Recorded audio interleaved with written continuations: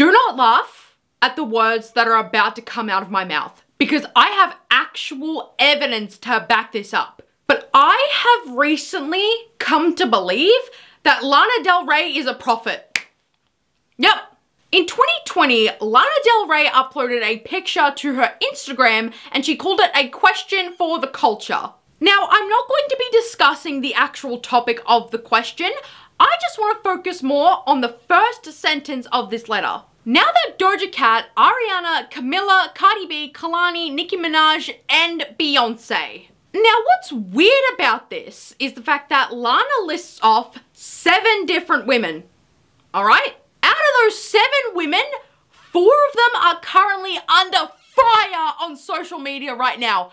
But hold on, it gets even weirder because it wasn't random, okay? It wasn't, oh, Ariana got caught under fire and then, oh, Nicki Minaj got caught under fire. No, no, no, no, no, no. That's not what's happening here. The literal order that Lana lists these women in is the exact order that they got caught under fire on social media.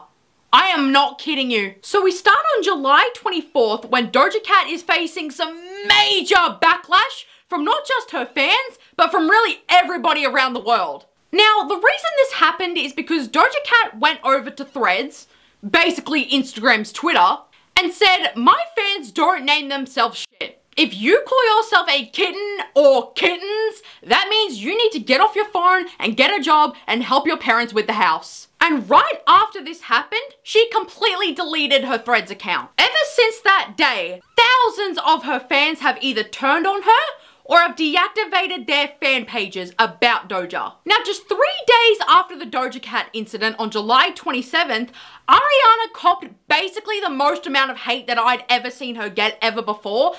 And I was there for the donut incident, so I think that says a lot. Because she was allegedly cheating on her husband Dalton Gomez with another married man named Ethan Slater. Now, I'm not going to be talking about Ariana's cheating scandal because that is a whole can of worms and that's not what this video is about. What I will say though is that she's a little bit notorious for having a lot of cheating rumors surrounding her. But let's move on. One day later, just one day after Ariana's cheating rumors, we get Camila Cabello's cheating rumors. And now last, and hopefully least, Cardi B found herself in some hot water after she threw her microphone at some guy who threw water at her while she was performing on stage. Now, in my personal opinion, if you're gonna be stupid, you better be tough.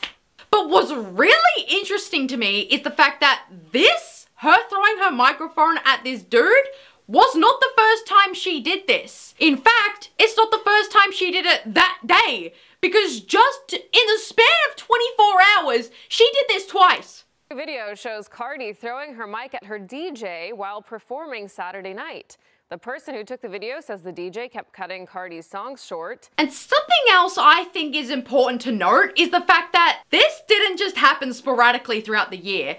All of these scandals happened back to back in the same month from the 24th Doja Cat scandal to the 30th Cardi B scandal, that is just six days. So in under a week, Lana's prophecy came true for over half of the people that she listed in her question for the culture post. This isn't, this is coincidence, but it's creepy coincidence because all of those people were in the know and all of those scandals happened to those people in a row, in that order, in the same month, in under a week.